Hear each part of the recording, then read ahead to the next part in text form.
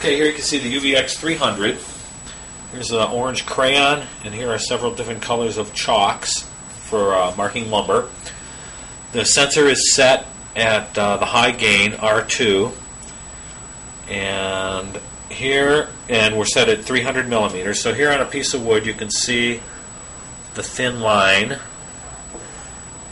Gives you a reading of about about eight or nine, and here's a thicker line of crayon, reading around 18 or 19.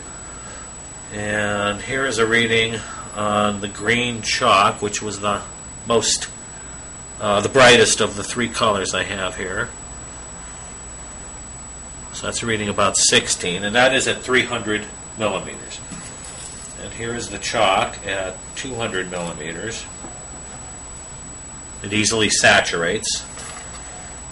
Here is the thin orange line at 200 millimeters. Again, fairly high signal. And here's the thicker orange line. Again, saturates.